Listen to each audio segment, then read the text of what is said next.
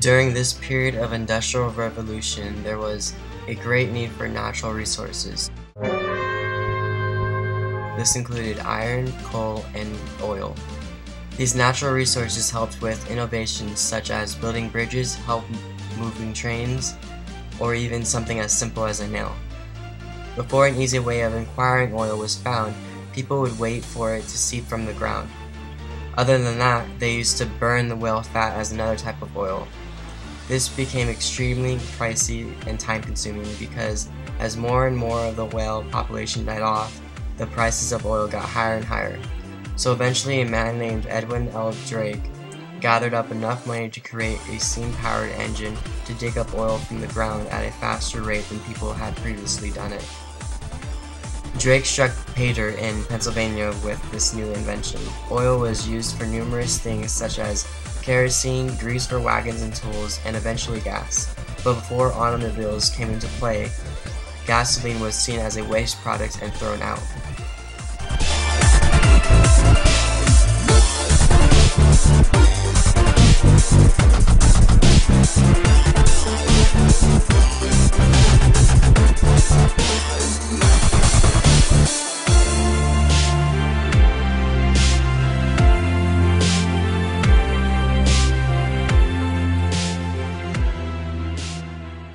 Iron is a natural resource found beneath Earth itself. In fact, the Earth's crust is 10% iron. The first use of iron was approximately found to be used 4,000 years before Jesus Christ. The Egyptians had used iron in their weapons and jewelry. Iron is strong but also cheap, which made it easy for people to buy. Steel is a mixture of iron and other metals to make it stronger. Iron was used for mainly architecture, such as building bridges, buildings, and railroads. It was also used for tools, machines in factories, and various other products that led the way during the Industrial Revolution. By using steel, it guarantees the structure of anything built out of it to be very sturdy.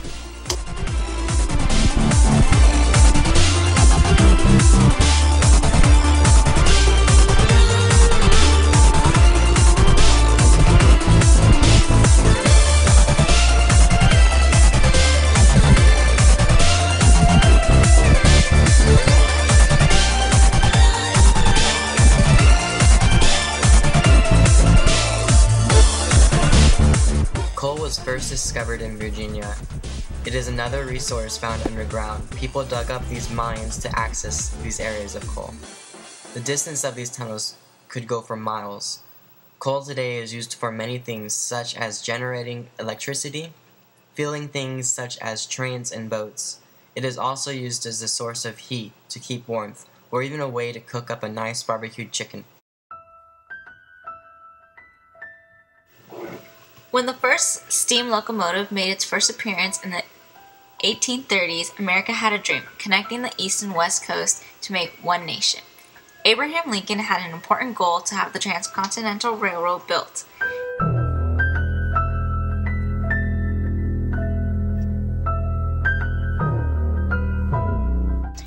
In the 1860s, it was beginning its process of being built. It was officially completed on May 10, 1869.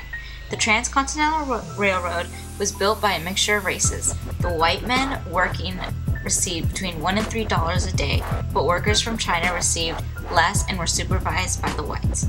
It also ended the centuries old way of life of the Native Americans and altered their environment. When building the railroad, it required laying over 2,000 miles of track that stretched through some of the forbidden landscape of the continent.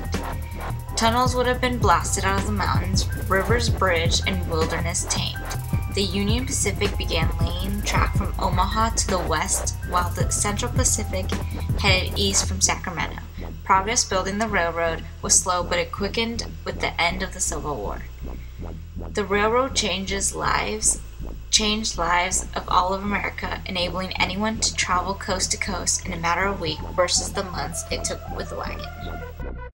Good evening, ladies and gentlemen. We are tonight's entertainment.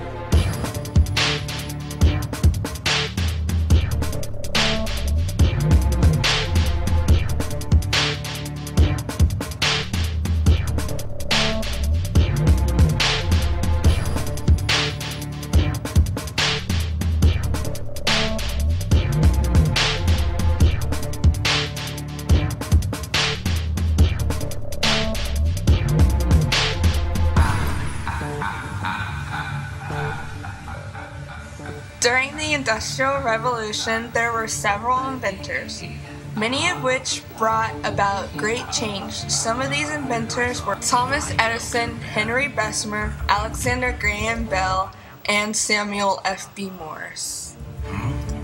Easy guy like me. Why so serious?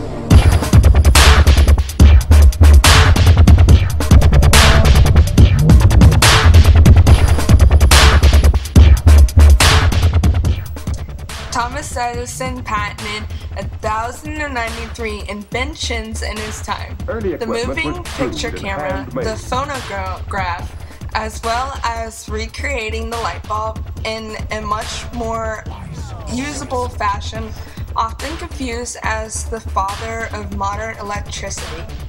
When in reality, that was Nikola Tesla.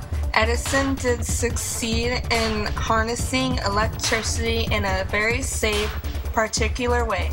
With lights, people became capable of working into all hours of the night, and it was key in developing a middle class. Henry Bessemer was best known for his contributions to the iron industry, the process of mass producing iron. The Bessemer process is named after him. Bessemer developed skyscrapers. Alexander Graham Bell was born in 1847 and died in The 1922. each letter on a Alexander Graham Bell invented the telephone or speech machine and the photophone. Samuel F. B. Morse was born in 1761 and died in 1826. Samuel F. B. Morse invented the telegraph. Thank you.